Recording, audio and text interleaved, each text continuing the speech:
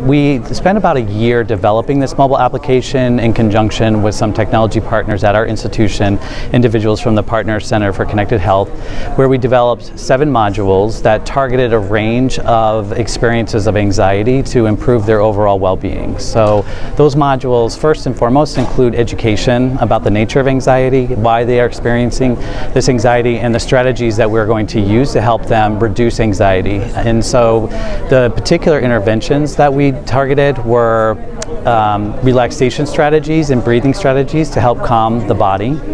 We also use a variety of strategies to help reduce worry and uh, help an individual to be more present focused rather than drawn into the future and, and preoccupied and worried about what the next scan would show or, or what the next series of, um, of test results would be.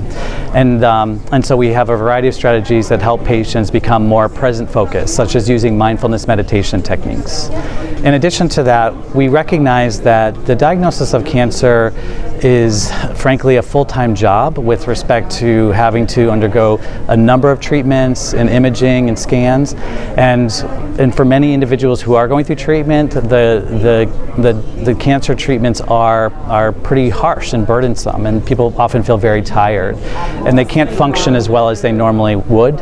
And so some of the modules target helping people to manage the fatigue associated with their cancer or other symptoms and to modify their day-to-day activities so that they can accomplish more and, and live to, you know, in line with their goals and wishes um, to participate in the activities that are meaningful with that for them, um, even though they may not have as much energy or, or they may be experiencing other symptoms. Um, so some of the modules targeted their, their, their activity level as well.